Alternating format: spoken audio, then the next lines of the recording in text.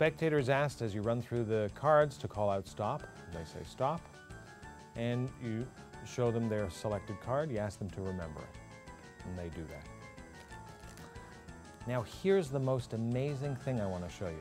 This is a trick pack of cards. It may not seem it, but it is a trick pack of cards. Let me show you what I mean. If we take the deck, oh well, I, you know what? We'll just take we'll just take a few cards.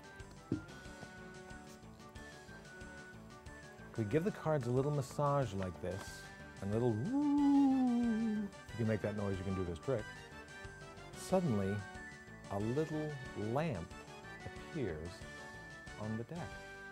But it's not just any old lamp, it's a magic lamp.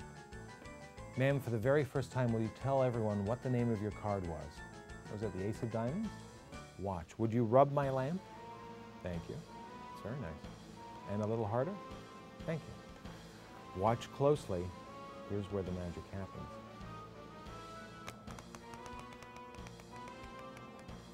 And there is our genie producing your card, the Ace of Diamonds.